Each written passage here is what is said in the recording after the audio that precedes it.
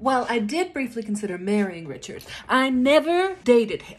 He never even caught my eye until he mentioned that he had spent a few years as a Buckingham Palace guard. Tell me more. Apparently, people tell their greatest secrets and some filthy stuff to a Buckingham Palace guard. He could fill up the hours with stories of the weird stuff people had said in his ears. I thought he was the most interesting man I had ever met until I met Kevin.